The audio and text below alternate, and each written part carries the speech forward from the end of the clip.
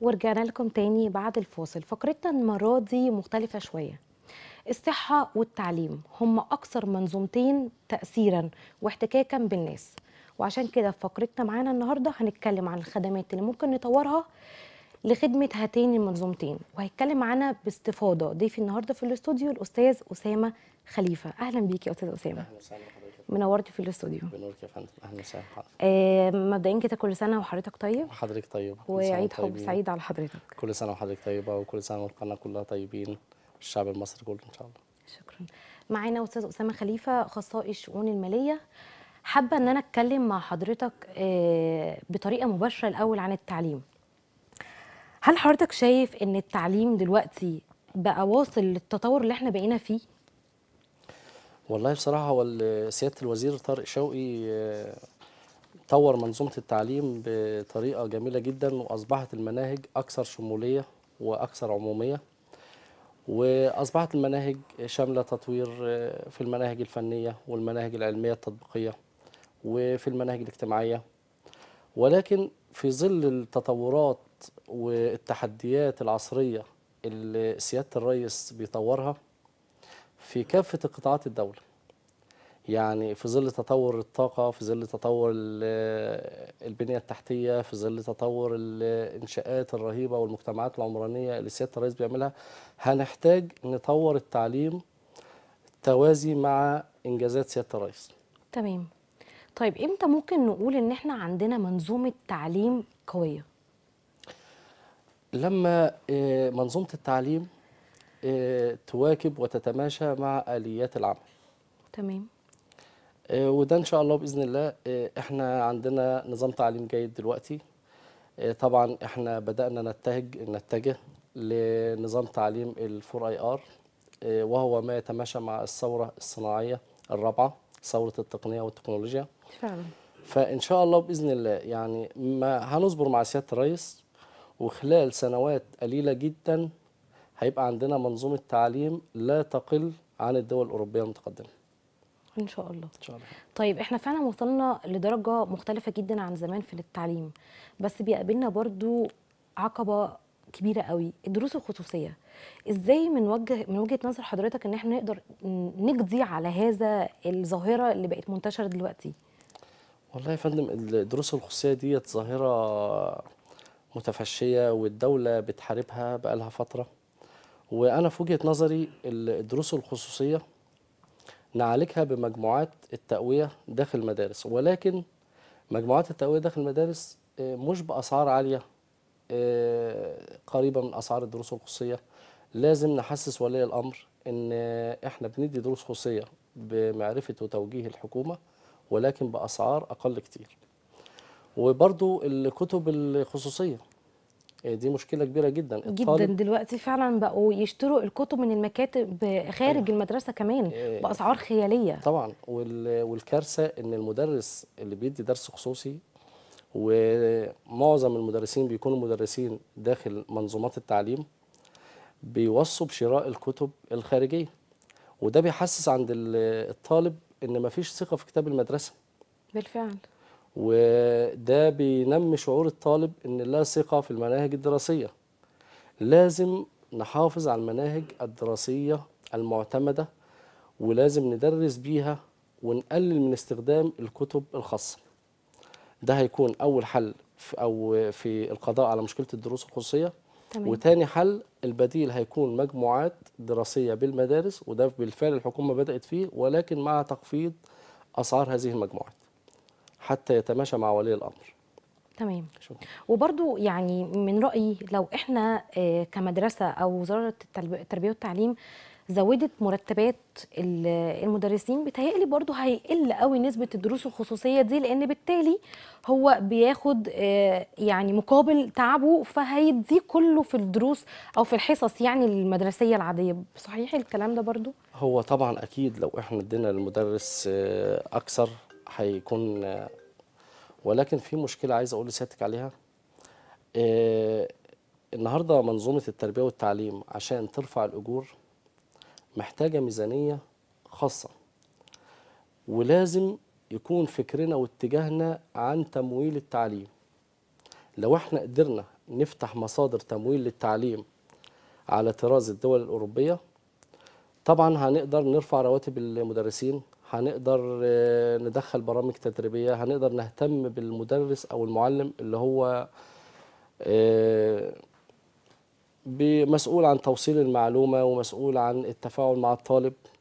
ولكن في بعض المدرسين مهما زودنا رواتبهم أعتقد إن هم هيستمروا في إعطاء الدروس الخصوصية. وللأسف برضو إن بيكون في بعض الطلاب بيكونوا محتاجين لده.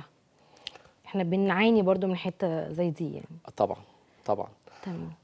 طيب آه عايزة أخد آه من حضرتك دلوقتي إحنا عندنا أزمة كورونا سببت إن نظام التعليم بقى عن بعد. بمعنى زي ما حضرتك قلت من طريق آه، ال- ال- النظام الإلكتروني. الدراسة بقت من خلال النت والنظام الإلكتروني مظبوط مظبوط. آه، الدروس حتى الامتحانات. هل حضرتك شايف إن شاء الله إن شاء الله بأمر الله بعد ما نتعافى من هذا أزمة الكورونا هل بعد ما إحنا نتعافى هيكون في آه، نظام مختلف ولا هنرجع نفس الموضوع ولا هيكون النظام عامل إزاي؟ والله يا فندم أنا أتمنى عودة النظام الدراسي للمدارس ولكن آه، ما نستغناش أو ما نقدرش نستغنى عن التعليم عن بعد بنسبة 100% تمام. طبعا التعليم عن بعد هو أحد أشكال التغيير الرقمي. التعليم عن بعد هو بنحاول نستفيد من التكنولوجيا والتفاعل بين الإنسان والتكنولوجيا والتقنية المحيطة بينا. ولكن لازم لازم التعليم يرجع للمدارس ولازم يكون في تفاعل ما بين المدرس والطالب ولازم يكون في احتكاك ما بين المدرس والطالب. فأنا أتمنى إن لو هيبقى في اعتماد للتعليم عن بعد ما يبقاش بنسبة 100% تمام. هو بالفعل يعني طبعا بنشوف دلوقتي لما الطالب يعني أنا عندي أطفال كتير قوي أولاد إخواتي يعني بحس برضو إن هما بيفصلوا الموضوع بيفصل لكن لما بيكونوا هيصحوا الصبح بدري للمدرسه راجعين هنريح شوية عندنا درس طبعاً، طبعاً. الموضوع بيكون متغير. طبعا.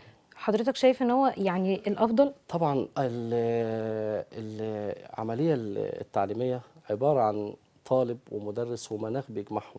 بالفعل إحنا حتى بنقول آه، زمايلنا في المدرسة والمدرسين إحنا بنشوفهم وقت الدراسة أكتر من أهالينا. طبعا. فاتفضل وهو بص يا فندم آه، المناخ اللي بيجمع المدرس والطالب وهو المدرسة ده عامل مهم جدا جدا وضروري. تمام. وفي غياب المدرسة آه، في مساوئ كتير جدا بتحصل للطالب. يعني الطالب إحدى عيوب التعليم عن بعد ال- الوحدانية للطالب والعزلة. طبعا الطالب عشان يقدر يتعلم عن بعد لازم يكون ملم بوسائل آه، التكنولوجيا عشان يقدر يوصل لمعلومته في أي وقت. طبعا التعليم عن بعد بيتطلب بعض التكلفة على أولياء الأمور زي الكمبيوتر زي الطبعات زي التابلات وده ما بيبقاش متوافر في كل الأحوال. مم. فلا بد لابد من جمع الطالب والمدرس في المناخ التعليمي وهو المدرسة. تمام. طيب خليني أدخل مع حضرتك شوية عن الصحة. عايزة أسألك آه، إيه اللي بينقص منظومة الصحة عندنا لترتقي لمستوى الدول المتقدمة؟ طبعا إحنا تقدمنا جدا جدا جدا عن زمان. وطبعا بمساعدة آه، يعني سيادة الرئيس عبد الفتاح السيسي اللي كلنا بنحبه. طبعا. وبنقول لك في برنامج جمالك مع جمالك مع رينا كل سنة وحضرتك طيب وعيد حب سعيد على حضرتك وعلى الأسرة جميعا وبنحبك يا ريس. فحضرتك شايف إيه اللي بينقصنا في منظومة الصحة؟ والله أنا حابب أقول نبذة مختصرة عن سيادة الرئيس آه، قبل ما أتكلم عن منظومة الصحة. آه، سيادة الرئيس بيعمل طفرة اقتصادية وبنية تحتية لم ولن تشهدها البلاد من قبل. بالفعل. لازم بس يعني بعض ال- الزملاء وبعض ال- الإخوة وبعض الإعلاميين لازم يوصلوا للناس ويوضحوا لهم نتائج أعمال سيادة الرئيس. سيادة الرئيس مش بس طور التعليم مش بس طور الصحة. صح. سيادة الرئيس طور كل قطاعات الدولة وبمبالغ ضخمة جدا جدا. وباختصار يعني أنا شخصيا شايف إن سيادة الرئيس عمل في ست سنين اللي ما كانش يحصل في ستين سنة. بالفعل. آه، حوالي 25 ألف مشروع. آه، طبعا ده إن دل يدل على إن هو شغال ليل ونهار. وعلى رأي يعني ال- المقولة اللي بتقول إذا كانت المعطيات واحدة فإنها دوما تصل إلى نتائج واحدة. مظبوط. وإذا كان ده اللي قدمه وبيقدمه سيادة الرئيس يبقى إحنا خلال فترة قصيرة جدا لا نقل عن أي دولة في أوروبا أو أمريكا اقتصاديا ولا تعليميا ولا صحيا. تمام. وربنا يخلونا يا رب وأنا بحب برضو أقول لسيادته كل سنة وأنت طيب وربنا يخليك لنا. وبالنسبة لمنظومة الصحة منظومة الصحة آه، بتشهد فعلا تطور آه، غير مسبوق. منظومة الصحة حاليا في بناء حوالي 96 مستشفى نموذجي. آه، منظومة الصحه شمل التدريب بنسبة 100% لكل الأطباء. آه، منظومة الصحة اتخصص لها ميزانية ضخمة جدا وده إن دل يدل على اهتمام سيادة الرئيس ووضع الصحة ضمن أولوياته الأولى. منظومة الصحة قدمت للشعب المصري في الفترة الأخيرة حاجات جميلة جدا جدا حاجات طبعا وكان بي- بيتابعها سيادة الرئيس بنفسه شخصيا. أيوه. زي مبادرة ال 100 مليون صحة حياة مظبوط. كريمة. مظبوط. القضاء على قوائم الانتظار. فمنظومة الصحة بالفعل بتشهد تطور وبرضو أتوقع أن إحنا خلال سنوات قليلة جدا جدا لا نقل عن الدول الأوروبية في المنظومة الصحية وخاصة بعد تطبيق التأمين الصحي الشامل. إن شاء الله.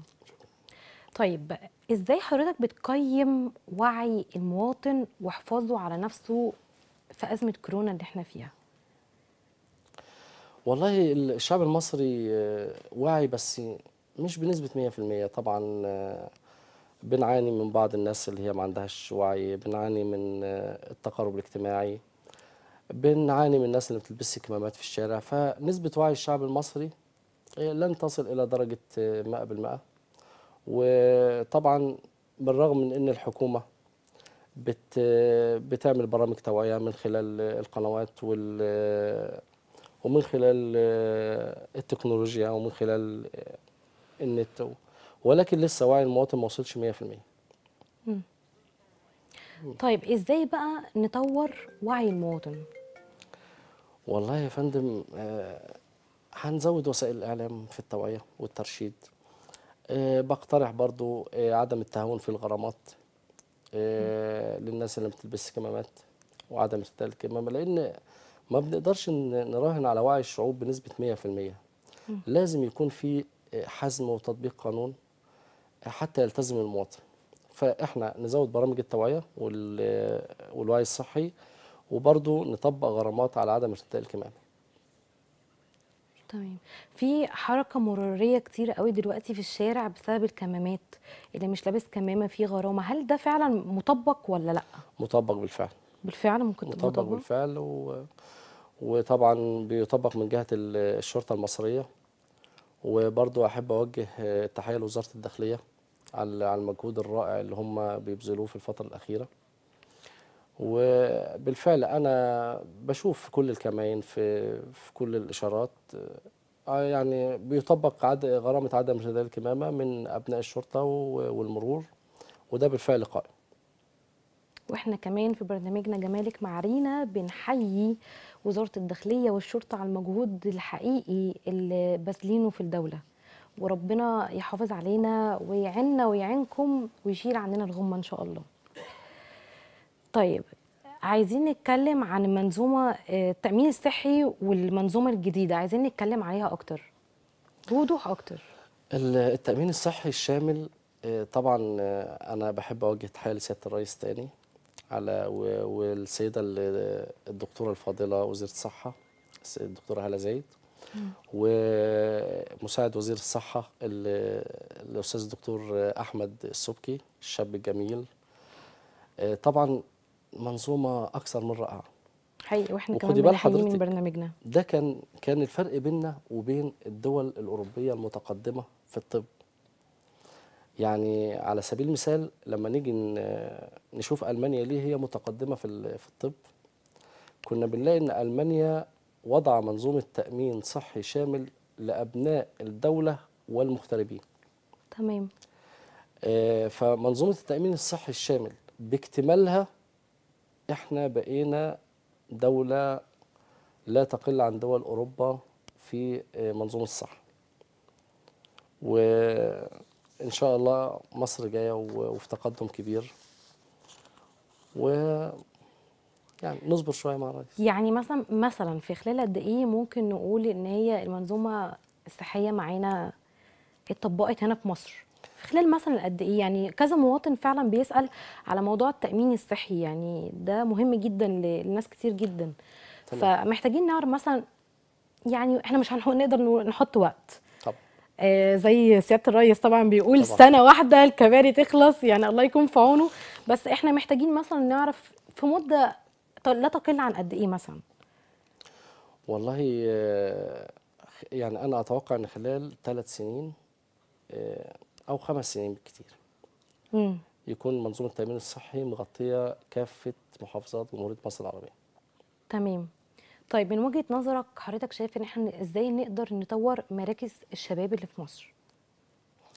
آه والله مراكز الشباب دي بقت مشكلة كبيرة جدا. حقيقي. آه، طبعا مراكز الشباب آه، تم إنشائها لهدف إن هي تكون صديقة الشاب في القرية أو في المدينة. مظبوط. آه، مراكز الشباب دي تمت عشان تقدم خدمات آه، اجتماعية وخدمات ثقافية وخدمات رياضية. وللأسف الشديد آه، مراكز الشباب في كثير من القرى الآن لا يتواجد بها كثير من الرياضات لا يتواجد بها أنشطة ثقافية أو اجتماعية. مم. ومع ارتفاع اشتراكات الأندية ومع ارتفاع عضوية الأندية أعتقد إن ما بقاش للمواطن البسيط إلا مراكز الشباب وأنا بنادي بنادي من آه، السيد الوزير آه، آه، وزير الرياضة إن هو يسرع في تطوير مراكز الشباب. تمام. طيب رؤية حضرتك إيه على الخدمات اللي بتتقدم للفلاحين لتوسيع آه، الزراعة؟ والله يا فندم هو برضه سيادة الرئيس عالج النقطة ديت بتبطين الترع لأن كان من إحدى المشاكل اللي كانت بتقابل الفلاح آه، آه، عدم وصول منسوب المياه الطبيعي آه، لأرضه. فكان بيضطر الفلاح يروي على حسابه وكانت بتكلفه تكاليف عالية جدا.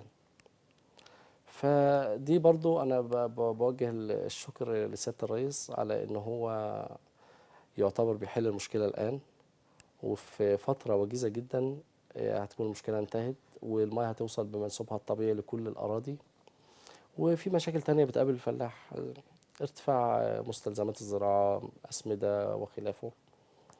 وربنا يعين طيب في نهاية فقرتنا محتاجة أخد من حضرتك رسالة للشباب. والله أنا رسالة للشباب والشعب المصري كله. آه، اهتموا بالعمل اهتموا بالانضباط. آه، حاولوا آه، تصبروا.